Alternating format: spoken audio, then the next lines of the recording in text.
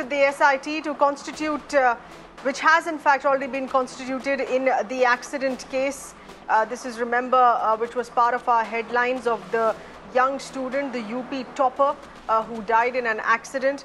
A female deputy SP will also will in fact lead the team. We have with us more details coming in. We have with us our correspondent Alok getting us those inputs here. Alok, we're already of course getting in uh, conflicting versions.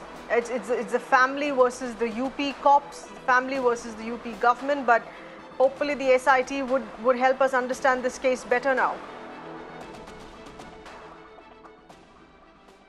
Well, yes, definitely, uh, Seher, this uh, SIT has been constituted and this SIT uh, will be led by uh, the Deputy SP, female Deputy SP, and she has to give her report within three days. But Seher, I am standing at the residence of this girl. I just would, I would like to show you uh, the residence of this girl because the family's condition, that Okay. family, fi- final, fi- uh, that financial condition is not so very good.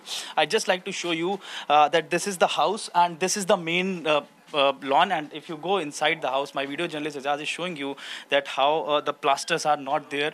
If you go inside uh, there are there is this is the main room of this house and you can see uh, that completely raptured plas- plasters and also this is this uh, uh, this pillar if you see this pillar is a temporary pillar. This is set up over here. Uh, this is a temporary arrangement because the family has not the money to repair their house. So that clearly mm-hmm. establishes that the financial condition of the family is not good. But despite that, the eldest daughter of this house was studying in US just because of her talent. And now she is no more. This is the family, a gr- grieved family. You can see my video journalist is showing you. Uh, everybody is in shock and everybody is in anger as of now because they want the justice also. And let me tell you that the two version, what the two versions are coming out. One version is of police and another version is of family. Family is saying that the, the girl left this house yesterday at around 9 a.m. and she had to go uh, to Bulandshahr. She was traveling on the motorcycle and she was uh, with her uh, uh, brother, that is the cousin brother, and her uncle, that is her chacha. And uh, when they reached uh, in uh, in Bulandshahr, in fact, when they went uh, to when when they reached the outskirts of Bulandshahr, uh, their bullet, their motorcycle was chased by a bullet, and the bullet was ridden by two person. They were uh, chasing them, and they were also eve teasing the girl.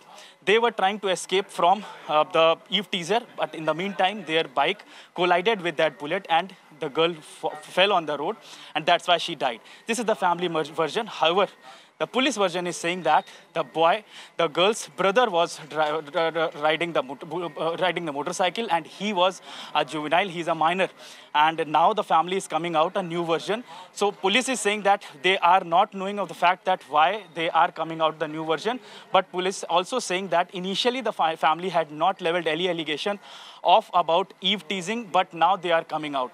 But if we believe on the families, family is saying that there was eve teasing done and they were trying to escape. That is why they have lost the girl. So, but the, the fact of the matter is that the accident had happened and the girl has lost her life. Definitely the family want justice. Police is saying that they have constituted the SIT. So in the three days that the, some result will come out. Uh, we will wait for that, but definitely the family has lost uh, their child.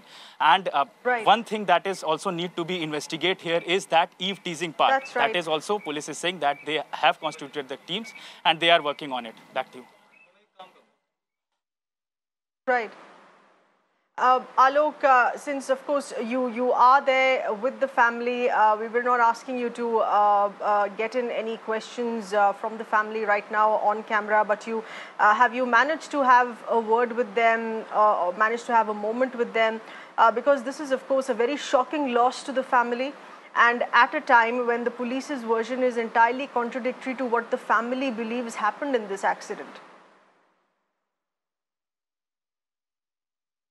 Yes, family is completely under shock, uh, and in fact, the family uh, was very much dependent, completely dependent, because I already told you that the family's financial condition is not good. Uh, her father is a tea vendor in this particular village where right now I'm standing, and during the time of lockdown, he had the losses because he was he was not able to open the shop as well.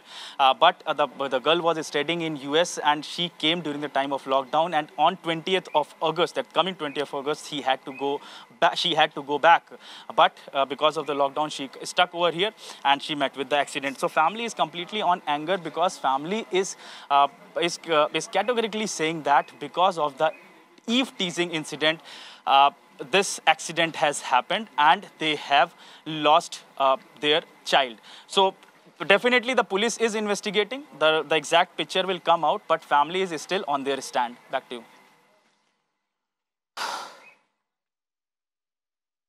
Alok, thank you for getting us uh, those inputs there, uh, right from outside, of course, the affected families' home there uh, in Uttar Pradesh.